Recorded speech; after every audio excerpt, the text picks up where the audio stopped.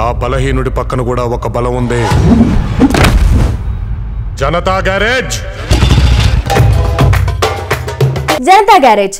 Koratala Siva hat trick కొడతాడు అన్న ఎక్స్పెక్టేషన్స్ని రైస్ చేసిన cinema.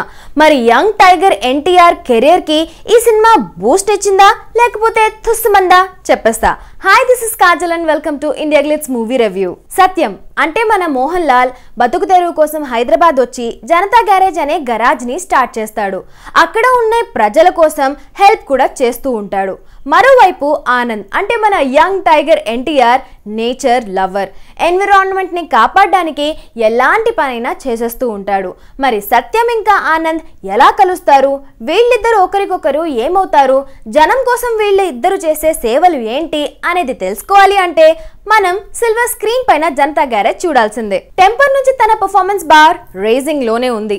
Emotional sentimental simple cute lovable ఇలా చిన్న చిన్న ఎక్స్ప్రెషన్స్తో సహా అమేజింగ్ పర్ఫార్మెన్స్ ఇచ్చాడు.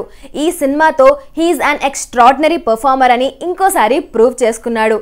మీరు యంగ్ టైగర్ ఎన్టీఆర్ డాన్స్ ఇంకా ఫైట్స్కి ఫ్యాన్ అయితే ఖచ్చితంగా ఈ సినిమా మీకు కన్నుల పండుగ ఇస్తుంది. ఎందుకంటే ఈ సినిమాలో మన యంగ్ టైగర్ ఎన్టీఆర్ఏ హైలైట్ కాబట్టి. మన రాక్ స్టార్ డిఎస్పి కంపోజ్ చేసిన సాంగ్స్లో ప్రణామం తప్ప మిగతావన్నీ చాలా రొటీన్గానే ఉన్నాయి. అండ్ సాంగ్ సిచ్యువేషన్స్ కూడా చాలా రొటీన్గా ఉంది. బ్యాక్గ్రౌండ్ స్కోర్ కూడా సోసోగానే ఉంది. తిరు సినిమాటోగ్రఫీ అద్భుతంగా ఉంది. ప్రతి ఫ్రేమ్ మోడర్న్ ఆర్ట్ లాగే ఉంది. ఎడిటింగ్ ఇంకొంచెం క్రిస్ప్గా చేసి ఉండాల్సింది. ఎందుకంటే వన్ సిక్స్టీ టూ మినిట్స్ ఈ కాలంలో ఇట్స్ బెట్ టూ మచ్ అనమాట చాలా లెందిగా అనిపించింది. ఇవన్నీ బాగానే ఉన్నాయి. ఓకే.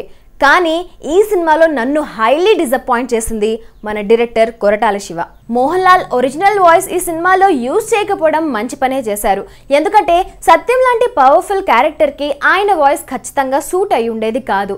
సరే సత్యం లాంటి పవర్ఫుల్ క్యారెక్టర్ ఫస్ట్ హాఫ్లో అంతా బాగానే ఉంది కానీ సెకండ్ హాఫ్లో మాత్రం డమ్మీ అయిపోయింది.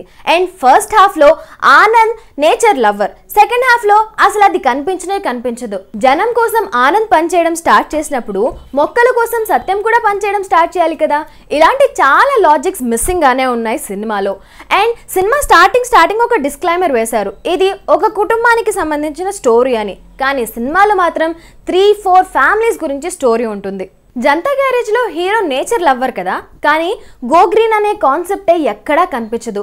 ప్లాస్టిక్ బ్యాగ్స్ యూస్ చేయకూడదు అనేది ఒకే ఒక చోట చెప్తారు కానీ కార్స్ యూస్ చేయడం బైక్స్ యూస్ చేయడం లాంటివి కంప్లీట్గా ఇగ్నోర్ చేస్తారు. అసలు శ్రీమంతుడులో మహేష్ బాబు సైకిల్ యూస్ చేయకుండా ఇక్కడ జనతా గ్యారేజ్లో ఎన్టీఆర్ సైకిల్ యూస్ చేస్తుంటే ఇంకా బాగుండేది. నేచర్ అంటే ప్యాషన్ ఉన్న పర్సన్కి సడన్గా జనాల కోసం వర్క్ చేయాలన్న ప్యాషన్ ఎక్కడి నుంచి వచ్చిందో స్ట్రాంగ్ రీజన్ చూపించలేదు ఇద్దరు హీరోలు ఉన్న ఈ సినిమాలో విలన్ చాలా వీక్గా ఉండడం పెద్ద ఫ్లా ఈ డ్యూరేషన్ని ఎమోషన్స్ పండించడంలో కేటాయించుంటే ఇంకా బాగుండేది. సినిమా అలా సాగిపోతూ ఉంటుంది తప్ప ఎంటర్టైన్మెంట్ కోషంట్ అనేది చాలా తక్కువగా ఉంది. కామెడీ ఎమోషన్ ఏది సరిగ్గా పండనే లేదు. కొరటాల శివ సినిమాల్లో జనరల్గా హీరోయిన్స్కి మంచి పర్సనాలిటీ ఉంటుంది స్ట్రాంగ్ క్యారెక్టర్ ఉంటుంది. కానీ ఈ సినిమాలో నిత్యా మీనన్ సమంత ఇద్దరికి సరి అయిన క్యారెక్టరే లేదు. అండ్ ఇద్దరు they are completely wasted. Nithya Menen character అయితే చాలా సిల్లిగా కూడా ఉంటుంది. సాయి కుమార్ క్యారెక్టర్ అయితే మోహన్ లాల్ క్యారెక్టర్ని పొగడ్డం కోసమే పెట్టినట్టుగా అనిపించింది. వెన్నెల కిషోర్ ఒక్క సీన్లో అలా వచ్చి అలా వెళ్ళిపోతాడు. ఇలా చాలా క్యారెక్టర్స్ ఇలా వచ్చి అలా వెళ్ళిపోతూ ఉంటాయి. అండ్ స్టోరీ అయితే లిటరల్లీ పాత చింతకాయ పచ్చడి లాంటి స్టోరీనే కొరటాల శివ దగ్గర నుంచి ఇలాంటి స్టోరీ ఇలాంటి సినిమా ఎక్స్పెక్ట్ చేయనే లేదు. So I'm going with two stars మీరు ఈ సినిమా చూసినట్టయితే మీకు ఎంత బాగా నచ్చేసింది? మీరు ఈ సినిమాకి ఎన్ని స్టార్స్ ఇస్తారు అనేది కింద కమెంట్ బాక్స్లో పోస్ట్ చేసేయండి. Thank you so much for watching and please subscribe